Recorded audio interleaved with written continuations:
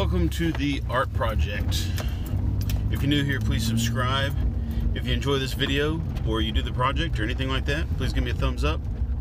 We're going to do a little Valentine's Day project. We're going to work with a little paint, do a little cutout, glue it down some, uh, and turns out to look a little like this. You can place your hearts and do whatever colors you want to. So here you go. First I put my name on my paper and then I get out some acrylic paint and I am going to try real hard not to leave my acrylic paint all one color. I'm going to do it pretty fast because I want to do something to it before it dries. The something that I want to do is use these little cards that I cut out uh, little teeth on to drag through it and scrape. I'm going to do it again with a warm color. The first one I did was cool colors. You can use any cool colors you want. The second one I'm going to do with warm colors and I just try to mix a few different colors together get the best effect and then again taking these cards that I cut these teeth out of and I'm just going to drag it through make some cool swirls. You can do circles with it or all kinds of things whatever you want to do. Then you're going to pick one to be the background. I chose the blue one to be the background and the warm colors to be the hearts.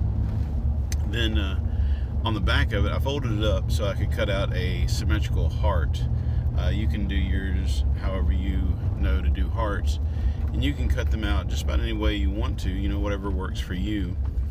Um, I also then got kind of fancy and after I did some scallop edges, I used a hole punch to um, create little holes so it'd be a little bit more uh, lacy like. And then I decided last minute to do a kind of a double outline with holes in it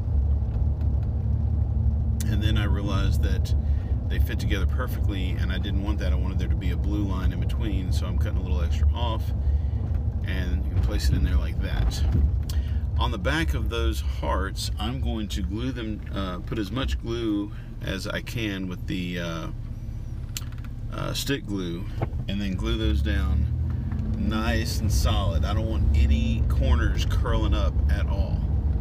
I want the I just want it all to be like laminated to the blue uh, background. So here I am placing it. Then I cut off the stuff that uh, I, I did it off center on purpose. And then I'm cutting off the excess that stuck off the edge of the paper. Then I want to do a couple more hearts in the corners. And when I did this, I kind of had some idea. Uh, this is silly. This is, you know, not something that you have to do. But the big heart represents my wife and the two small hearts represent my two daughters. Um, but you don't have to do all that. I was just trying to get fancy. You can really kind of do the hearts uh, any way you want to. Uh, remember, it's good to overlap. It's good to go off the side of the paper.